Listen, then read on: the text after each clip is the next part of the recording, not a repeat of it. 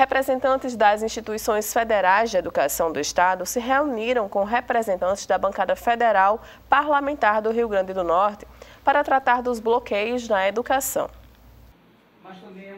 Na reunião, foram discutidos os impactos que os cortes representam na educação e na economia do Estado. O que somos e o que fazemos é muito importante dizer à sociedade, mas dizer também que ah, se esse bloqueio realmente se efetivar como corte, nós teremos uma possível eh, inviabilidade da formação, dessa formação, desses trabalhos que nós fazemos de produção, de formação de recursos humanos.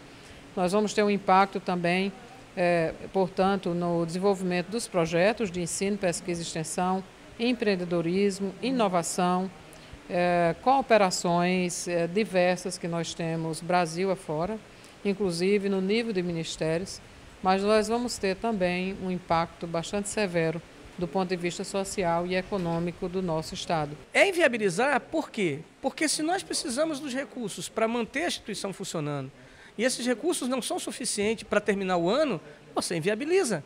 Inviabiliza aulas de laboratório, inviabiliza aulas práticas. Por quê? Porque se por um lado a assistência estudantil foi preservada, e eu tenho dinheiro para o que o aluno possa ter as suas despesas durante a aula prática, eu posso não ter dinheiro para o combustível.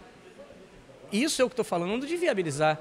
Então, essas questões todas são é, prementes do ponto de vista do nosso orçamento que evidentemente, esperamos que isso se, se reverta de alguma forma. Diante do risco de inviabilização das atividades institucionais para o próximo semestre, os pontos mostrados na reunião levam em consideração o que já estava previsto para o orçamento de 2019.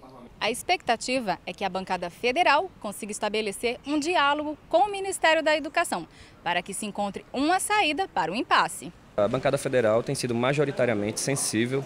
A gente sabe a importância que essas instituições são para o Estado do Rio Grande do Norte, o IFRN com seu ensino técnico, a Universidade Federal do Rio Grande do Norte, a UFES, são alunos que muitos deles vêm de, uma, de, um, de um ambiente familiar de baixa renda e eles têm a sua ascensão social nessas instituições. E literalmente a evasão dessas instituições são, menor, dessas instituições são menores, essas pessoas são importantes para o Estado do Rio Grande do Norte porque são é, mão de obra qualificada, mão de obra técnica para poder realmente ocupar espaços e fazer com que o nosso Estado cresça. Na reunião, os reitores, né, a reitora da UFRN, os reitores da UFESA e dos IFRNs apresentaram a nós, da Bancada Federal do Rio Grande do Norte, um documento muito valioso com um detalhamento de qual será o impacto desses cortes na educação para essas instituições aqui do Rio Grande do Norte e agora nós temos todo um trabalho de articulação para fazer, levando esse documento para o MEC, nos somando aos deputados, deputadas, senadores de outros estados que também estão sofrendo muito com os cortes e que vão articular essa mobilização para que os cortes sejam revertidos.